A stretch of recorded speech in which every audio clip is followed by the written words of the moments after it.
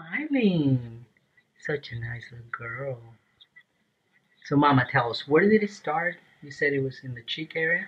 Uh huh. On the cheeks, above the right here. Okay. And then the cheeks became all red, or what was next? Yeah, the cheeks, and then her whole body started breaking out in the rash, Mm-hmm. and it just got worse. Yeah. And it's on the arms too. A little bit on the legs we saw, but not so much. So mostly the face here. And uh, when you came in here, we were thinking it was an allergic reaction to the the antibiotic, Uh huh. which the antibiotic they were given for the cough and congestion look at that. things like that. Well, the the characteristic rash, and that's what we're talking about, of the cheeks being involved, and then the lace-like rash on the rest of the body. She's so cute. And she was uh, strong. She was spitting up the medicine. She didn't want to take it.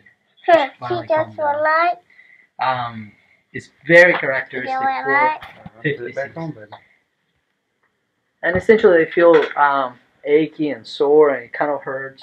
Uh, they can get a little dehydrated, so you gotta make sure they're drinking plenty. Um, but it's not a dangerous rash. Occasionally, I have some complications, which it's in the paper Daddy, we're want gonna a talk about. chip? And then when I edit the video, I'll mention some of those things. Um, Don't, don't walk. but that's about it.